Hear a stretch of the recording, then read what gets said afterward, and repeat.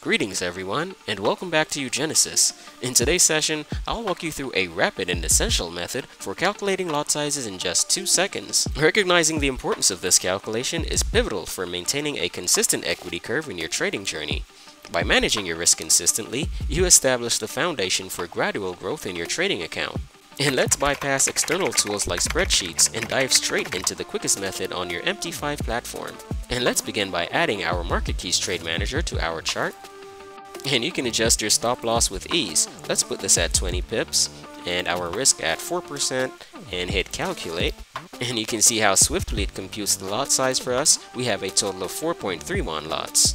And armed with this lot size, you can make well-informed decisions when entering trades.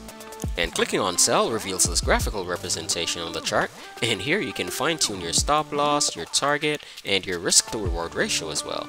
And beyond our execute tab, we have a manage tab for handling trades, a stats tab to monitor trades, and a secure tab to prevent over trading.